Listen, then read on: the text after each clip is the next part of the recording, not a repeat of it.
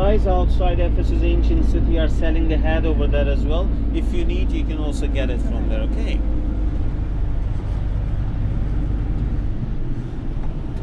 I see a lot of wind turbines up there. Exactly. Yeah. That is one way how we produce electricity in Yeah. our country.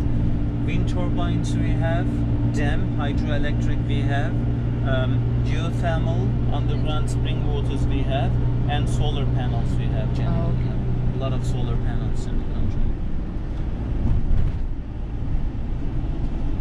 Nuclear, we don't have it yet, Yeah. but they are building They are it. yeah, they are building it.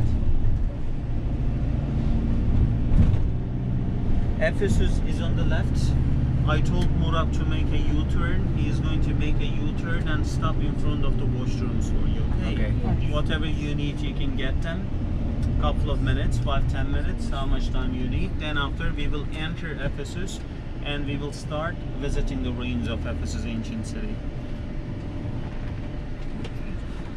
And as I told you, you know, um, if you need to purchase the entrance fees by credit card, at the entrance you can pay it.